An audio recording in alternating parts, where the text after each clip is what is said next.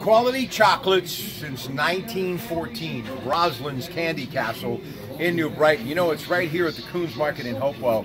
You know, when I think of great traditions, listen, there was no other candy in my household as a kid Rosalind's candy was the one you would find on every countertop, every table, and at every family gathering. And it was always really a treat when you were able to get to that piece that you really savored and couldn't wait to have, like that coconut bonbon, always my favorite.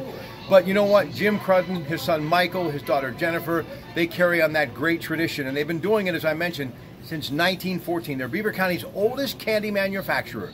So on behalf of their family and the TC family to your family, why not stop out here in Hopewell and pick yourself up a delicious box of Rosalind's candy from the Candy Castle, 13th Street, 5th Avenue, New Brighton.